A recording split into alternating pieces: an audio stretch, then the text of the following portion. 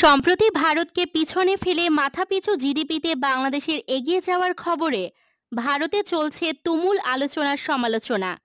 চরম চাপে রয়েছে মোদী সরকার। সেই চাপ শেষ হতে না হতেই এবার ভারতীয় রুপিকে পিছনে ফেলতে চলেছে বাংলাদেশ। অর্থাৎ শুধু মাথাপিছু আয় নয়, সামনে কোনো দুর্যোগ না হলে ভারতীয় রুপিকেও পিছনে ফেলবে বাংলাদেশ। এরই মধ্যে সামাজিক অনেক সূচকে ভারতের চেয়ে এগিয়েছে বাংলাদেশ। আইএমএফ এর বৈশ্বিক প্রতিবেদনে যেমন আত্মতুষ্টি আছে, তেমনি অর্থনীতির ভিত আরও মজবুত করতে সুবিন্যস্ত পরিকল্পনা আছে সরকারের। এমন মন্তব্য করেছেন পরিকল্পনা কমিশনের সচিব ডক্টর শামসুল আলমের। আর করোনার ঘোর কাটিয়ে টেকসই প্রবৃদ্ধি অর্জনের সামনের দিনগুলোতে ক্ষুদ্র মাঝারি শিল্পের উন্নয়ন, বৈষম্য কমানোর পাশাপাশি অপচয় রোধ করার পরামর্শ অর্থনীতিবিদদের। বিশ্বের পঞ্চম বৃহত্তম অর্থনীতির দেশ প্রায় একশো কোটি মানুষের ভারত। আর ষোলো কোটির বাংলাদেশের অবস্থান তেতাল্লিশতম, প্রায় তিন ট্রিলিয়ন ডলারের বিপরীতে দুইশো আশি বিলিয়নের বাংলাদেশ। আকারের এমন পরিসংখ্যানে মনে হতে পারে হাতির সঙ্গে কচ্ছপের তুলনা।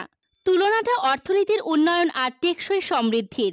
করোনার থাবায় যখন গোটা বিশ্ব নাস্তানাবুদ, তখন ঝুঁকি নিয়েই মাথা উঁচু করে লড়ছে বাংলাদেশ। ফলাফল আইএমএফ এর প্রতিবেদনে উঠে এসেছে, চলতি বছরে মাথাপিছু আয়ে ভারতকে এগারো ডলার পেছনে ফেলবে বাংলাদেশ। মাত্র ছাব্বিশটি দেশ ধনাত্মক প্রবৃদ্ধি অর্জন করতে পারবে, তার মধ্যে বাংলাদেশ অন্যতম।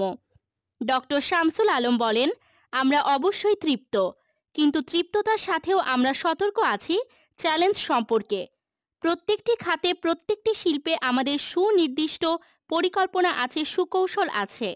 আর কোনো দুর্যোগ যদি না আসে, তাহলে আশা করছি আমাদের টাকার মান ভারতের চেয়ে বেড়ে যাবে। করোনার মধ্যে ঝুঁকি নিয়ে সরবরাহ ব্যবস্থা ঠিক রাখার পাশাপাশি সঠিক সময়ে বিভিন্ন খাতের জন্য দেয়া হয়েছে প্রণোদনা। তবে ইতিবাচক অর্জনে আত্মতুষ্টিতে না ভুগে রফতানি বহুমুখীকরণের পাশাপাশি কর্মসংস্থান সৃষ্টির দিকে নজর দেওয়ার পরামর্শ অর্থনীতিবিদদের। ডক্টর গোলাম মোয়াজ্জেম বলেন মানুষের আয় বৃদ্ধি পাচ্ছে, এটা সত্য। কিন্তু সেভাবে মানুষের কর্মসংস্থান সৃষ্টি করা যাচ্ছে না। অর্থনৈতিক কর্মকাণ্ডের এই জায়গাগুলোকে আগামী দিনের জন্য ঠিক করা দরকার। একই সাথে দেখা দরকার যে, অর্থনৈতিক কর্মকাণ্ডের যে বৈচিত্র্যায়ন, সে জায়গায় উৎপাদন বৃদ্ধির চেষ্টা করা।